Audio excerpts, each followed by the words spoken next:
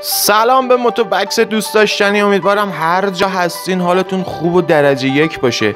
امروز اومدیم یکی از پرفروش ترین موتورسیکلت ها یا اسکوترهای ایران رو بهتون معرفی کنیم که بعد از اینکه وارد کشور شد تو سال 95 فروش بسیار بالایی رو تجربه کرد. هوندا کلیک.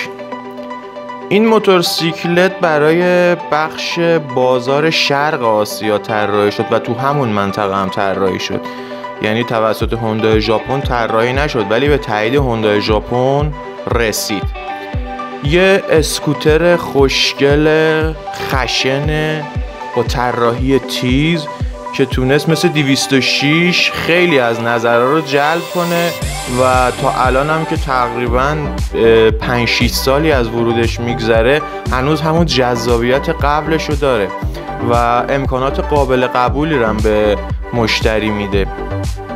یکی از امکانات خیلی جالب این موتورسیکلت اوتو هولدشه که یعنی وقتی شما پشت چراغ قرمز یا اینکه یه جا توقف می‌کنید موتور به صورت خودکار خاموش میشه و وقتی که خواستید را بیفتین گاز می‌دید دوباره موتور روشن میشه.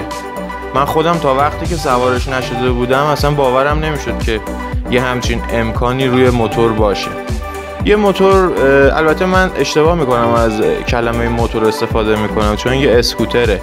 یه اسکوتر خیلی نرم و خوش سواریه منتها یه سری ایرادات هم داره. مثلا لاستیکش خیلی لاستیک خطرناک و سوریه. یعنی باید شما حواستون خیلی باشه.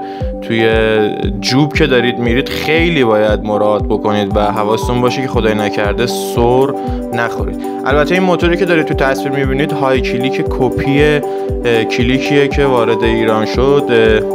ولی خب یه سری, ت... سری با اون کلیکی که اومد داره. این موتور تو دو تا سبک 125 150 و 160 سی سی هم به تعداد خیلی محدود یه سری شرکت ها زدن که البته خود هوندا شرق آسیا الان داره می‌زنه اینو. کیلس داره ترمزا ABS و اینکه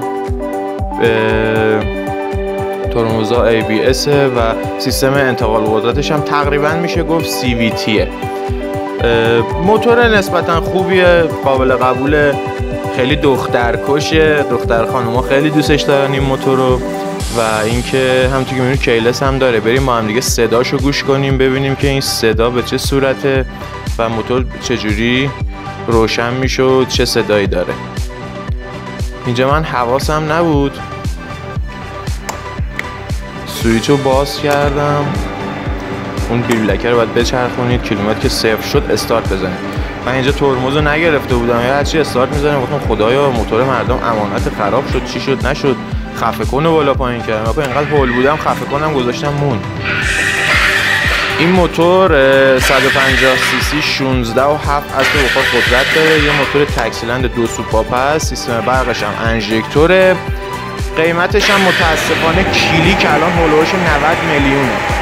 ولی های کلیک نصف, نصف این قیمته. امیدوارم از دیدن این ویدیو لذت برده باشید.